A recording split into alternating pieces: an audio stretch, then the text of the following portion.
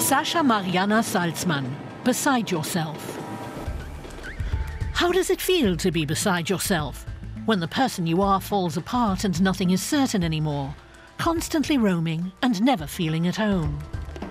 In her debut novel, Sasha Marianna Salzmann tells of a Jewish woman, Ali, and her search for her missing twin brother, Anton. Mein Name fängt mit dem ersten Buchstaben des Alphabets an und ist ein Schrei, ein Stocken, ein Fallen, ein Versprechen auf ein B und ein C, die es nicht geben kann in der Kausalitätslosigkeit der Geschichte. Ein Denkfehler zu glauben, die, die gemeinsame Stationen durchlaufen, kommen als ein gemeinsames Irgendwo an.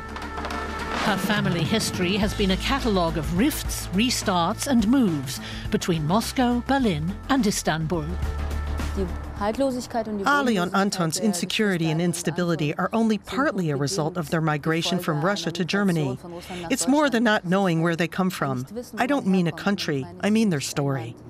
And so, more or less voluntarily, they begin to search for that themselves.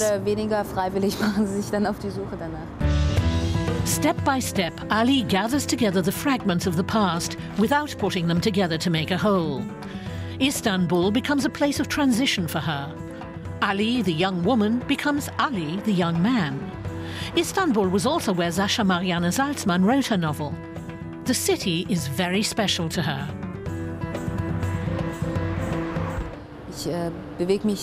I move a lot between countries and continents. Istanbul was the first place where I felt at one with myself. It's like your first big love. You don't forget it.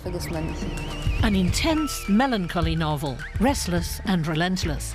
Sasha Marianna Salzmann writes of endless roaming and the courage to reinvent yourself.